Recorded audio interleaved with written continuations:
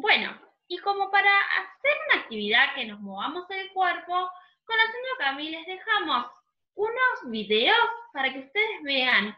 Y en esta oportunidad lo que vamos a hacer es mover el cuerpo, pero tenemos que estar bien atentos y escuchar qué cosas nos piden el video que hagamos. Por ejemplo, si nos pide que levantemos una mano, cuál mano, si tenemos que girar, qué cosas tenemos que hacer. Tenemos que imitar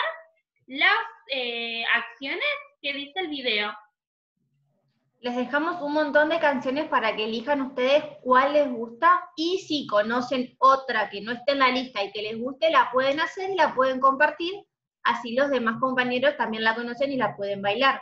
Y es importante que después de bailar todas las canciones y de mover todas las partes del cuerpo que nos piden, que hagamos la vuelta a la calma con las tarjetas que les mandamos con la seño Anto para que hagan.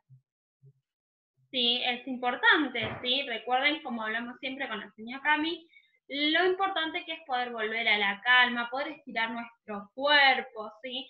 Poder sentarnos y que nuestro cuerpo vuelva a eh, estar tranquilo, que nuestro corazón deje de latir rápido porque estuvimos moviendo mucho, moviéndonos, entonces eso hizo que nos, eh, nos aceleremos. Y de a poco hay que volver a la calma.